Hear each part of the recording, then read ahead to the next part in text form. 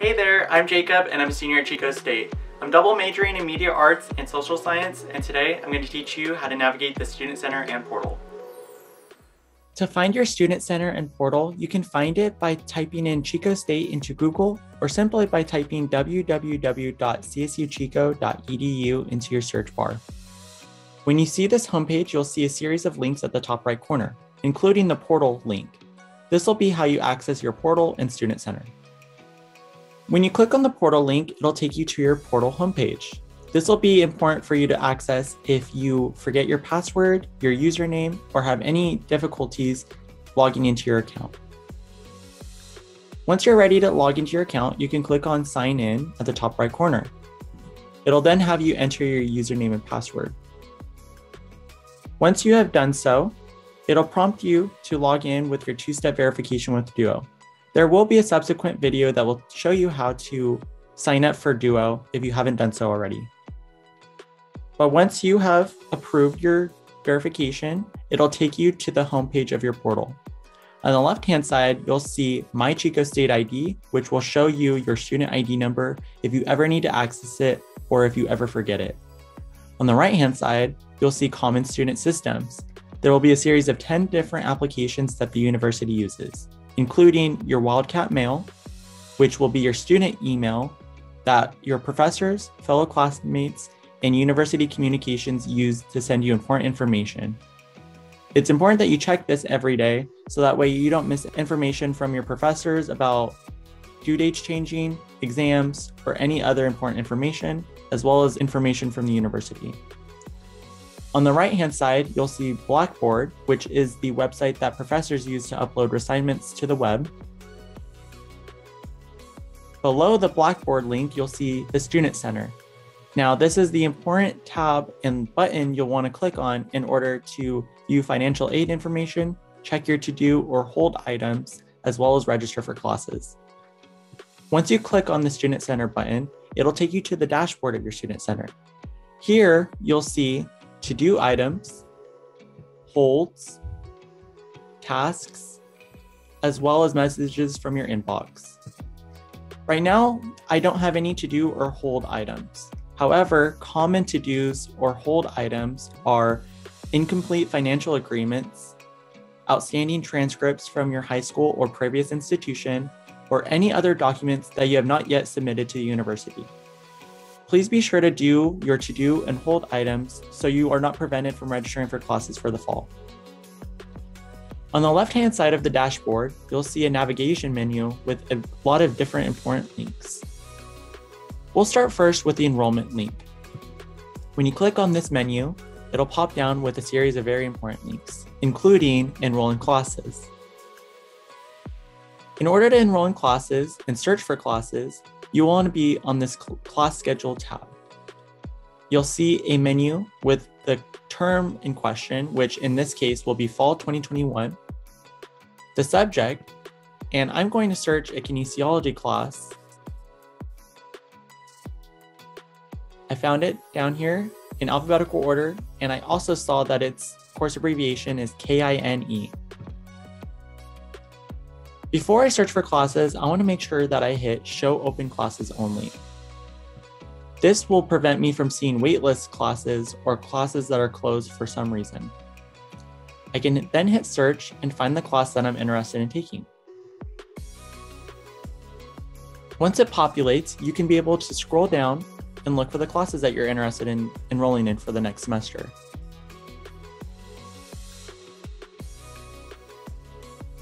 I found a class that I'm interested in taking. In this case, it's Yoga or Kinesiology 169. In the class menu, it'll show me a bunch of information regarding the class that'll be helpful for me when I enroll in classes. I can see the section is section one. It meets on Monday and Wednesday. It starts and ends from 8 to 8.50. It also tells me that the room it's located. In this case, the class is located in Acker Gym 202. If it's an online class, it'll simply say online. Next, it'll show me the dates. The dates of the term are from August 23rd to December 17th. It then shows me the instructor, Carly Ross. Next, it'll show me units and classes vary in units from one to six units. So it's important to pay attention to how many units the classes work. Then you can check the status or availability of the class. If you see a green box with a white O, you'll know that the class is open. Next to that, it'll tell you how many available seats are left in the class. In this case, there are 12, and the 35 just indicates that there are 35 seats in the class total. One of the most important components to this information is the instruction mode. The instruction mode tells you whether or not the class is virtual, in person, hybrid, as well as if the class is asynchronous or a synchronous class. If it's a synchronous class, it means that it meets at a specific time. If it's asynchronous, it means that it doesn't meet at any specific time during the week and that you do some form of independent study. In this case, it says that the class is in person with internet use. It also tells me that the class is in person here, but I also need to be able to access the internet.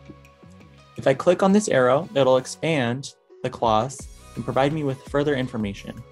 I can also see where the location of the class is by clicking this button.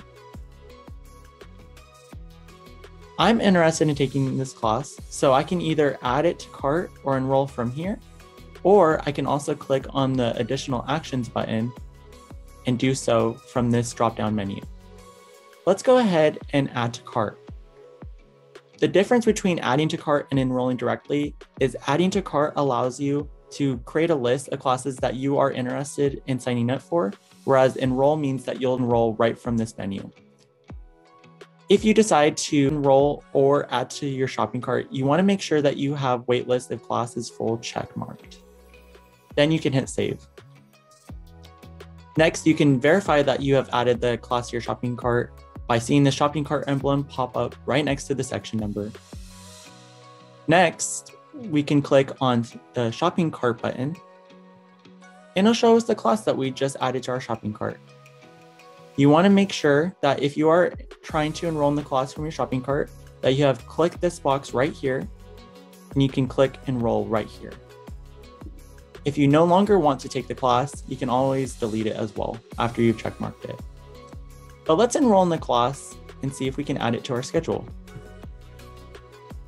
Once you try to enroll in a class, it'll send you a reminder that in order to graduate within four years, you should be completing about 15 units per semester. You can hit I agree and then enroll. It'll then inform you of whether or not you were able to add the class to your schedule. In this case, I was successful in adding the class to my schedule. So I'm going to go ahead and hit OK. And from here, I'd like to click on My Schedule. It'll first show me a list view of all the classes that I am enrolled in for this upcoming semester. And if you want to look at subsequent or future semesters, you can always use this drop-down menu here. Or you can always use the calendar view by clicking on this calendar button located here.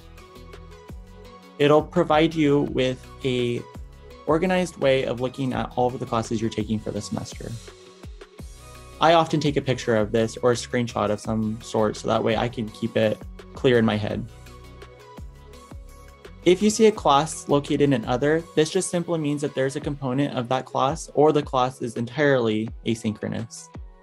This just means that you complete the class at your own pace, indicated by the syllabus that your instructor has provided.